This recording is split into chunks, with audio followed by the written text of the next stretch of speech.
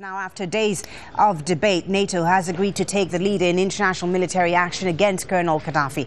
Al Jazeera's Paul Brennan joins us now live from NATO headquarters in Brussels. Uh, Paul, what does NATO taking over the operation mean exactly? Do we know what the precise command arrangements are going to be?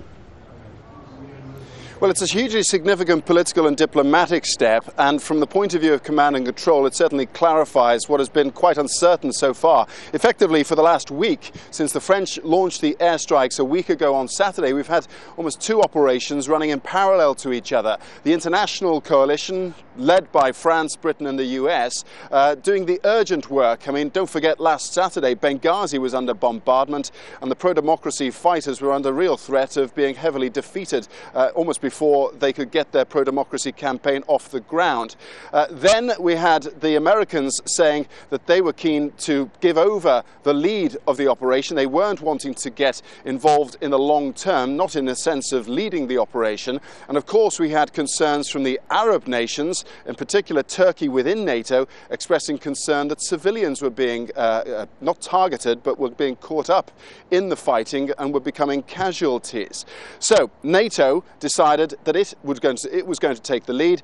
The, the decision was that the uh, best way to hold a coalition together would be for NATO to take the lead. There was some intense wrangling about exactly how that might take place. And then last night we had the decision and we heard from the NATO Secretary General, Anders Fogh Rasmussen. NATO allies have decided to take on the whole military operation in Libya uh, under the United Nations Security Council resolution.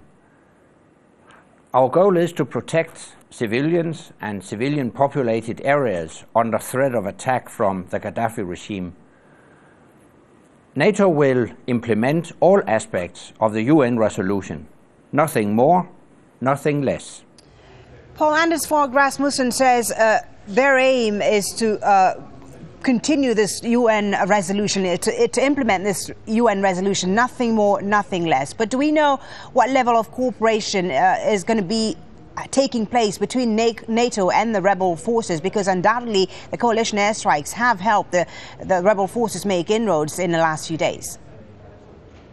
Yes, I mean, we, we, don't is the honest answer because the meeting that took place uh, last night was classified. We are going to have a sit down interview with Anders Fogh Rasmussen later on this morning, and I'll certainly be asking him those kind of questions.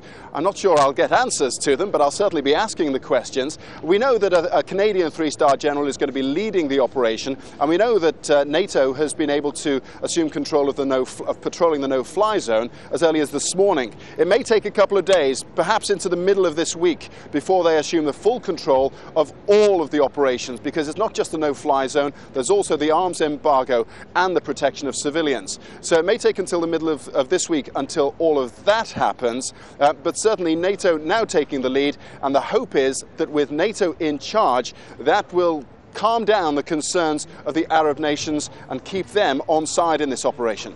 Okay, thank you very much. Paul Brennan reporting there live from Brussels. Thank